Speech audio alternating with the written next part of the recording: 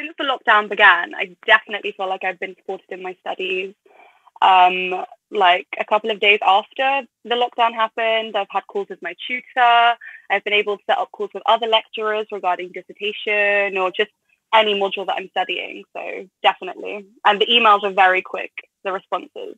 What do I enjoy most about being in Portsmouth? Um, so Portsmouth, it's like a hidden gem. I had never really heard about it before. And then I visited for my open day and I found like Gunwharf Quays, which is like an outlet. And then I found Southsea, which is just like full of independent shops and it's just like full of character. Like, I don't know, like a mini London or something. And the beach is just absolutely amazing. And the uni's amazing too. Very nice. Uh, what have I enjoyed most about my degree?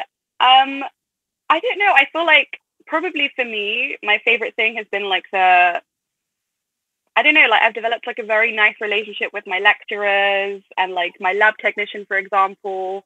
Um, everyone's really like, is personable a word? Like, you know, they take care of you and they get to know you on a personal level, and it's just really nice, and they're very supportive all the time. Um, so probably that. Like I didn't expect that, but that was really, really lovely.